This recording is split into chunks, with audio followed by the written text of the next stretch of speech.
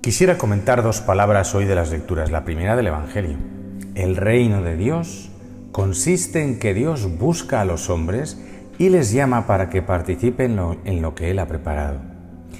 El Señor ha preparado lo más maravilloso que el hombre se pueda imaginar, pero el hombre no puede gozarlo y disfrutarlo hasta que no lo conoce, y para conocerlo tienen que creer y fiarse de la llamada de Dios. Y el misterio que especialmente quiero comentar hoy es cómo Dios busca y llama al hombre de muchas maneras. Lo hace llamando a lo profundo del corazón. También el Señor lo hace con cada uno de nosotros. Ser cristiano es haber sido alcanzado por esa llamada amorosa de Dios que nos invita a descubrir lo maravilloso que es el Señor y los dones que Él tiene preparados para nosotros. Por eso ser cristiano es haber sido agraciado, haber sido bendecido con esa llamada, haber sido tocado en el corazón por el Dios que te ama, que te llama, que te busca. Cuando uno ha sido llamado y responde, empieza a descubrir y a saborear los dones de Dios.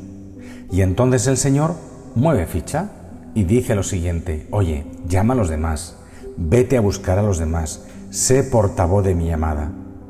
Yo te he llamado, y tú estás disfrutando de lo que yo, ¿verdad?, te estoy dando. Pero eso que yo te estoy dando no es solo para ti, es para que tú también lo des a conocer a los demás, porque cuantos más lo conozcan, mejor, más personas conocerán lo precioso que es vivir mi propia vida. Y aquí viene lo segundo que hemos eh, escuchado, ¿no? Eh, como el Señor dice a los que están con Él, salid a llamar y que se llene la sala del banquete. Haberse llamado por el Señor y haber respondido a su llamada tiene como un barómetro, un indicador para poder juzgar cómo vamos viviendo eso. Es el impulso que nos nace dentro de convertirnos en portavoces de la llamada del Señor. Cuando tú atiendes a la voz de Dios, cuando vas conociéndole, cuando tratas con Él y le amas, deseas que los demás lo conozcan, lo vivan y lo amen. De aquí que el Señor mueve la iglesia a través de esto, nos llama, nos recoge, nos hace vivir de Él y nos convertimos en portavoces de Dios. Esto lo vivió, y paso al segundo tema que quería comentar, de una manera maravillosa San Pablo, nuestro querido San Pablo. Sabemos muy bien cómo Él es convertido por el Señor camino de Damasco. La llamada del Señor le alcanza, Saulo, Saulo, ¿por qué me persigues? Y la voz del Señor le llega a lo profundo del corazón y ya desde entonces va a convertirse en gran apóstol, en el gran anunciador de Cristo para que los hombres conozcan y amen al Señor. Él vive para anunciar a Jesús. Y nos dice una palabra que quiero comentar. Dice, todo lo puedo en aquel que me conforta. Esta es la frase que San Pablo dice.